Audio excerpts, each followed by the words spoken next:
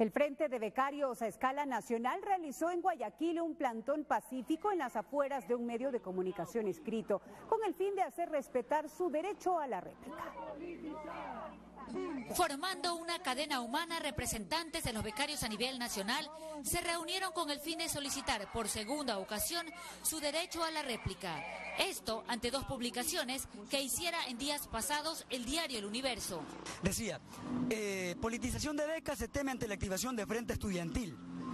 Es un titular tendencioso, consideramos nosotros, y ha generado realmente intriga.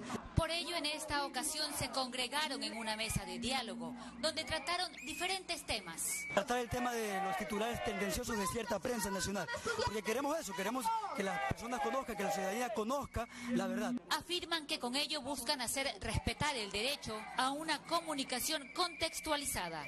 Y luego de la mesa de diálogo, uno de los representantes del Frente de Becarios ingresó al diario con el fin de entregar un manifiesto.